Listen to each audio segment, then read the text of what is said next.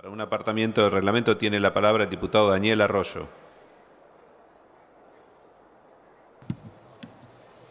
Gracias, señor presidente.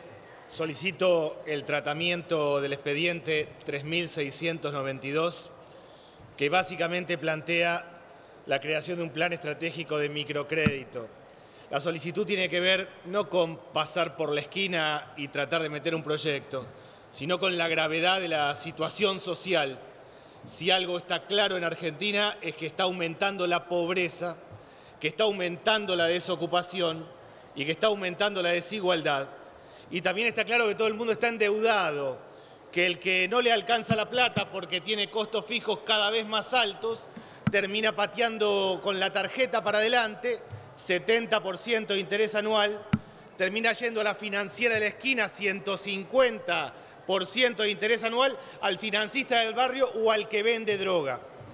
Hoy la ley de microcrédito actual permite solo la puesta en marcha de créditos a tasa subsidiada hasta 140 millones de pesos, que es menos que una aspirina para el contexto social argentino.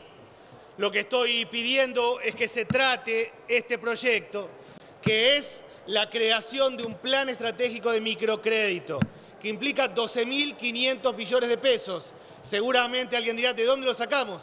Si es 26 mil millones de pesos lo que se va a aplicar para subsidiar a PYME, lo que me parece bien.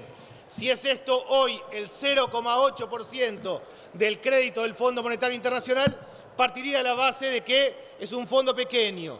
Si hacemos esto, que es lo que plantea el proyecto, podemos llegar a 500.000 personas a tasas de hasta el 5% anual para máquinas y herramientas, para que el carpintero tenga una sierra circular a tasa baja y no al 150% anual, para que quien cose ropa en su casa tenga una máquina de coser, para que el pibe que pone un taller mecánico delante de su casa tenga un escáner y una computadora. Es cortar con los créditos usurarios, es fomentar y llenar de máquinas y herramientas los grandes centros urbanos, es atender el problema social urgente hoy de la Argentina.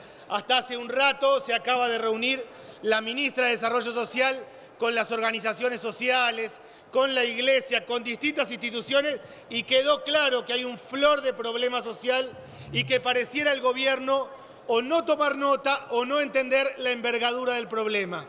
Quiero acá aportar una idea, aportar un proyecto, ayudar a que mejore la situación social.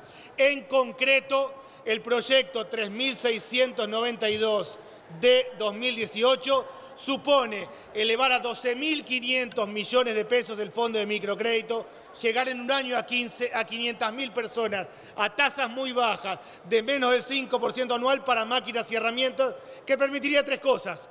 Desendeudar a todo el mundo que está desendeudado hoy, inundar de máquinas y herramientas a los que están trabajando y no les alcanza y terminan tomando crédito al 150% anual y empezar a fomentar el trabajo. Si la idea es que se sale con trabajo, con producción, lo que hacen falta son máquinas y herramientas. Solicito la votación nominal para poder tratar este proyecto. Muchas gracias, señor presidente. Gracias, señor diputado.